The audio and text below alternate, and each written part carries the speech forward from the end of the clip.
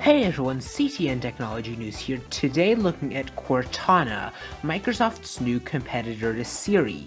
Now back in June, screenshots of an early Windows Phone operating system build leaked via a Lumia phone allegedly purchased on eBay. At the time, next to no attention was paid to an app listed as Z Cortana that was on the phone. But that Cortana app is central to what Microsoft is doing to compete with Apple Siri and Google Now, and Cortana is back in the news this week with past passing mentions by those tracking what's happening with Windows Phone as it moves towards the Blue release in the early part of 2014.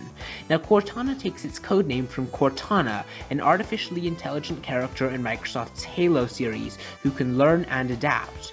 Cortana, Microsoft's assistant technology, likewise, will be able to learn and adapt relying on machine learning technology and the Satori Knowledge Repository powering Bing. Cortana will be more than just an app that lets users interact with their phones more naturally using voice commands.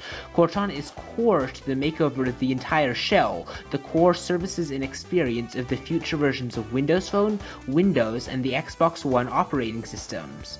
In Microsoft CEO Steve Ballmer's strategy memo from July about Microsoft's reorganization, there were hints about Cortana. Ballmer mentioned that Microsoft will be working going forward on a family of devices powered by a service a service-enabled shell.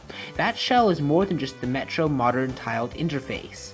Now, the coming shell won't simply surface information stored on users' phones, PCs, and consoles like a search engine can do.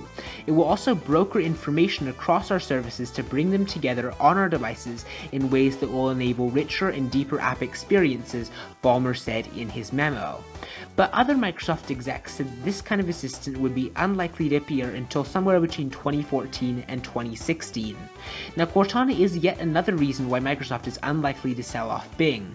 Bing is more than just a web search engine, it's also the indexing and graphing technology that will be powering Microsoft's operating systems too. Now let me know what you want to see in Cortana in the comments below, and thanks for watching this video. Please be sure to like and subscribe if you enjoyed it, and I will see you next time.